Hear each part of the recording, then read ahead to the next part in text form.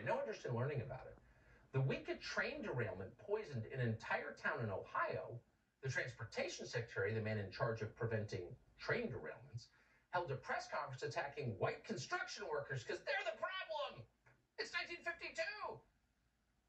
Our 80 year old president, meanwhile, 80 years old, he seems convinced it's 1915 and we're all living in rural Alabama, burning crosses in the front yards of terrified sharecroppers to amuse ourselves. We don't have TV. Biden gave a speech the other day in 2023 to denounce lynching, as if lynching is still happening in the United States. It all seems a little delusional. So it was with genuine relief that we saw today one of Biden's top cabinet officials, Janet Yellen, who runs the Treasury Department, sign off her Twitter account, finally leave Washington and meet with actual flesh and blood human beings who are suffering. And not only did she meet with them to prove her sincerity, Janet Yellen brought with her a check for a billion dollars. And we'll admit, partisanship aside, we were happy to see that. Finally, someone in the Biden administration who actually cares, was getting on an airplane to show concern. That's the good news. The bad news is Janet Yellen was not in East Palestine. She was in Ukraine. Watch. And today I'm proud to announce the transfer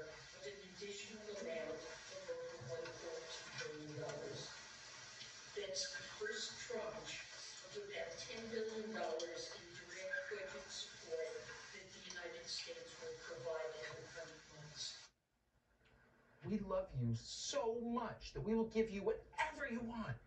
Anything. A new bicycle, a puppy, a pony, it's yours. We love you. Billions more for Ukraine. Your tax dollars. But that money's not going to be going to the newly poisoned communities of eastern Ohio. Who cares about them? It's not going to be earmarked for the hundreds of thousands of American families who have lost loved ones to the opioid epidemic, an epidemic that was created by Democratic donors at Purdue Pharma. Money's going to Zelensky and his wife in Kiev. And that money will complement the more than 100 billion in tax dollars they've already received from the US Treasury.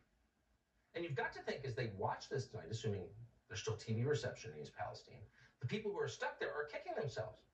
If only they had paid Joe Biden's crackhead son 80 grand a month for a no-show job, Janet Yellen might be visiting them today. It seemed like a lot of money at the time, but that turned out to be the best investment those Ukrainian oligarchs ever made. Was like buying Google stock 20 years ago. Talk about a jackpot.